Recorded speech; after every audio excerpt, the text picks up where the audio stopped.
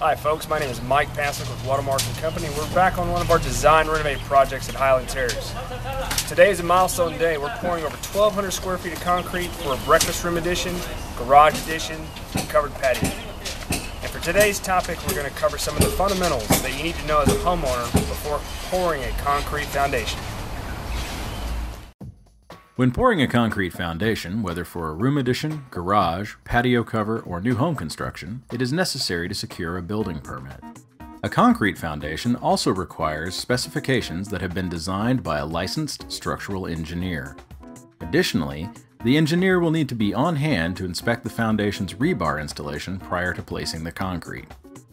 Once the foundation site has been inspected and approved, the structural engineer will issue an engineer's letter stating that the foundation has been built to specification.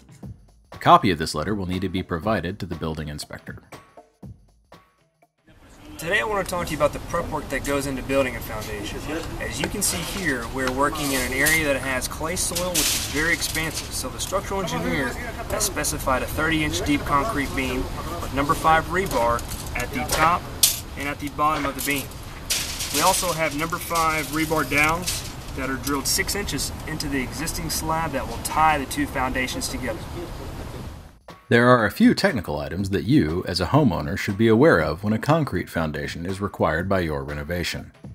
First, prior to placing the concrete, the concrete contractor should shoot elevations from various points around the top of the form boards.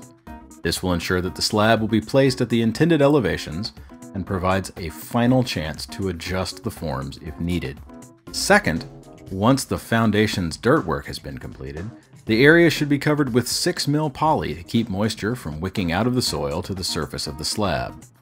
Not only will this reduce indoor air moisture, it will also eliminate the potential for issues with moisture-sensitive flooring materials, such as hardwood floors. Lastly, you will need to determine the type of finish you would like for your concrete. The three most common types of concrete finish are smooth, exposed aggregate, and broom finish, as seen here.